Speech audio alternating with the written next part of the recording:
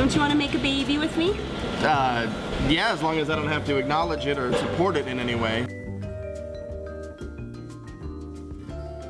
I miss the taste of coffee. That's surprising. Considering you're a ghost, I figured you wouldn't need to worry about having to stay awake. I still get those residual headaches from not having caffeine.